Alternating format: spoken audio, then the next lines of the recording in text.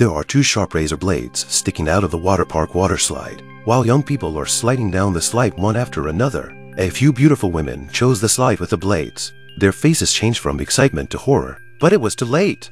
They were instantly dismantled by the huge impact. Blood red water and limbs gushed out from the slide. The crowd was so scared that they scattered in all directions, but unknowing people at the entrance to the slide continued to slide. Today is the first day of the water park's reopening. A group of graduates are holding a graduation celebration here. 20 years ago, this was a popular attraction, but it fell into disuse after a murder. It's only with the influx of young people that the park has regained its popularity. But it's someone else's joy, not Paul's. As soon as Paul stepped out of the car, he was confronted by a schoolyard punk. Luckily, his classmate Kimberly saved him. Lost in thought, Paul bumped into Priscilla just when he couldn't resist confessing his love to Priscilla. Her boyfriend Tommy arrived. Paul had to see them off. While people were having a good time, two boys jumped down the slide with a bottle of wine. Then an accident happened. The boy who went down the slide hit his head on the bottle, causing the pool to turn red with blood. An ambulance came immediately to take away the injured. The cleaner was recovering debris from the pool. He offered to drain the pool, but the boss refused. In the evening, Tommy passes by with Priscilla. Paul's friends send Tommy away. Then Paul and Priscilla kissed. It turns out Priscilla and Paul had a brief affair. They started chatting happily. Then they went to the locker room and made out like nobody's business. But it was all recorded on a cell phone. The boss was making out with a student, and his wife was dating an older man who turned out to be Paul's father. Soon the bonfire started. Paul was on stage as the lead singer. The boss's wife accompanies Paul's father to watch the show. The day's drama hadn't dampened the spirits. Everyone was swaying to the music. Tommy caught up with Priscilla and asked her where she'd been. Priscilla gave her a random name, but then suddenly she got a video on her cell phone. Tommy immediately grabbed the phone and saw Priscilla and Paul making out in the bathroom. Angry Tommy immediately punched Tommy to the ground. A friend tried to help Paul but was knocked down in a second. Tommy then picked up Paul and tried to beat him up again. The people around him kept shouting and screaming. Luckily, the boss's wife intervened to stop the incident, and Priscilla was dragged away by Tommy. His friend helped Paul back to the hotel but met Paul's father. Apparently, the father and son were not on good terms and they got into a row. The father said he'd come to see Paul perform, but Paul didn't believe him at all. Suddenly, the father asked Paul if he liked it here. Paul didn't know what it meant. The next moment, his father said he was going to buy the place. It turns out that Paul is a rich kid. Feeling incomprehensible, Paul turned around and left. The father and son parted on bad terms. In the dead of night, a man sneaked up to the slide. Then he cut the slide and inserted two razor-sharp blades into it. Who could have done this? The next day, Paul's father was admiring his future paradise. Suddenly, a man pointed a gun at him from behind. Apparently, it was someone he knew. Just when he thought he was joking, he fired a shot.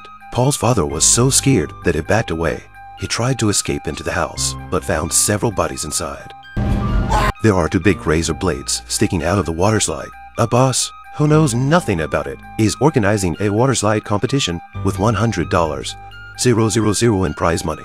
A group of young people sign up to participate. That's when Tommy, the janitor, notices the slide is leaking and picks up plastic debris on the ground. He realized something was wrong and rushed to stop the crowd from boarding the slide, but was ignored as a lunatic. In fact, the lifeguard had already noticed something was wrong. He found blood on the lawn under the slide but ignored it because he didn't want to jeopardize the business. By now, the boss has already started announcing the rules of the competition.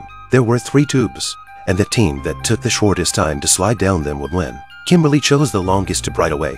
The boss's wife warned him that the other one was shorter, but the rebellious Kimberly doesn't care. Just as the crowd was about to descend, Tommy stopped the crowd with some crumbs that he had picked up earlier. But everyone just thought he was being paranoid. The boss's wife even threatened to fire him. So it tells them about the murders from years ago. And today is the 35th anniversary of the water park murders. The crowd stopped paying attention to him. The boss's wife blew her whistle to start the race. Three teams of students slide down the tube. Which group will the blades be in? As everyone screamed in excitement, Kimberly's team suddenly looked horrified. So they're the lucky ones. The next thing you know, she's being dismantled by the blades. Two girls were instantly reduced to a pile of meat. The third girl escaped because of a block in front of her. By now, the first group has already slid down. As the group celebrates, Kimberly's group started to gush out bright red blood. People look at the blood and wonder what's going on. But in the next second, as the limbs and arms flowed down, people finally realized what was happening. The girls started screaming at the top of their lungs. The boys started to vomit. The lifeguard was so shocked, he fell and broke his foot.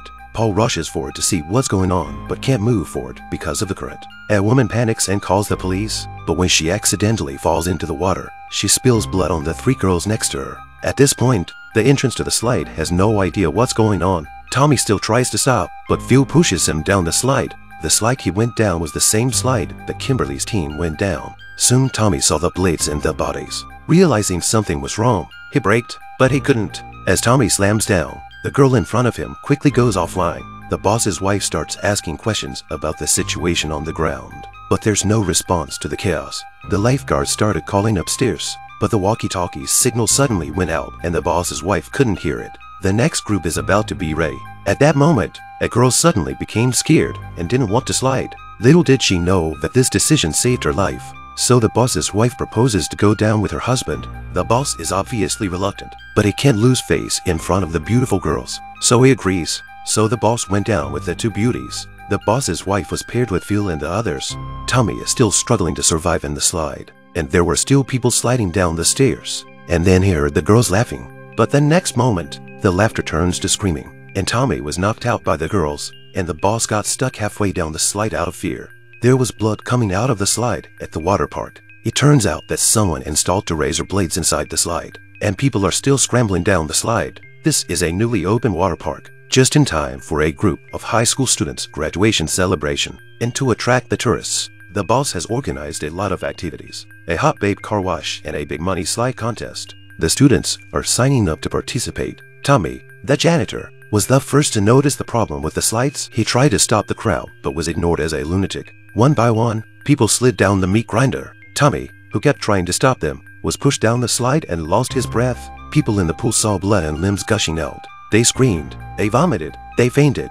Paul quickly tried to save them, but he was unable to stand up because of the current. The lifeguards immediately contacted the upper floors to try to stop it, but they couldn't hear anything due to signal interference. At this time, the boss and the boss's wife also want to play a game. In order not to lose face in front of the beautiful women, the boss agreed to do it, but it got halfway down the slide and stopped. At that moment, Paul also climbed up the slide to try to save the others. When he sees the boss in the slide, he immediately tries to pull him up. Paul asked him to try to jump out, but he didn't dare. Eventually, he let go of Paul's hand and turned into a puddle of blood and water. At that moment, the rest of the tube came down. They couldn't even cheer before they realized that the whole pool was blood red. A steady stream of severed limbs was still coming out of the slide. The girls were so scared, they ran for their lives. One of the girls runs into the warehouse, only to find a room full of corpses. Paul rushed upstairs to stop the others from sliding down. But the students, who were having too much fun, wouldn't listen. Then the man in the pink pants slid down the slide. Despite being stopped, the lifeguard came up to stop him, but saw a couple of students pushing Paul down the slide. And then the lifeguard was pushed down the slide. Luckily for Paul, the slide had no blades, but the lifeguard wasn't so lucky. In the end, Paul succeeded in inheriting his father's estate and fulfilled his father's wish to buy the water park from the boss's wife to build a shopping mall. He apologized to the boss's wife. The boss's wife choked up and comforted him, but inadvertently showed a smile. It turned out that the boss's wife had planned all this. 20 years ago, a tragedy happened in this water park. Her father was encouraged by a friend to slide down the slide and broke his head, but no one was around to help. She screamed for help, but no one paid any attention. The lifeguards were too busy trying to get laid. In the end, her father died in front of her. The water park was shut down for more than 20 years because of the attention it received. And her father's friend was Paul's father, so the boss's wife tried to get close to the boss to become his wife. She approached Paul's father to bring him to the park under the guise of a buyout. In the end, she engineered the elimination of the boss and the lifeguards, but at the cost of many innocent lives.